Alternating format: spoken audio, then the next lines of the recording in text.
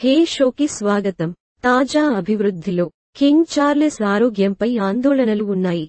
Buckingham palace అతని cancer నిర్ధారణను ప్రకటిస్తూ ఒక ప్రకటనను విడుదల చేసింది. ఇది రాజ అనుచరులకు షాక్వేవ్లను పంపింది. ప్యాలెస్కి దగ్గరగా ఉన్న మూలాల ప్రకారం ఈ పరిస్థితి కింగ్ చార్లెస్ అంత్యక్రియల ప్రణాళికలకు అత్యవసర నవీకరణలను ప్రేరేపించింది. అతని ఆరోగ్యం క్షీణించడం ప్రిన్స్ విలియంను భయభ్రాంతులకు గురిచేసిందని నివేదించబడింది. అతను సింహాసనం తర్వాతి స్థానంలో ఉన్నాడు.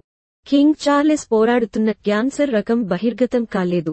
ప్రిన్స్ విలియం మరియు అతని భార్య Kate Middleton Duchess of Cambridge అతని ఆరోగ్యం క్షీణించిందని నివేదికలు సూచిస్తున్నాయి.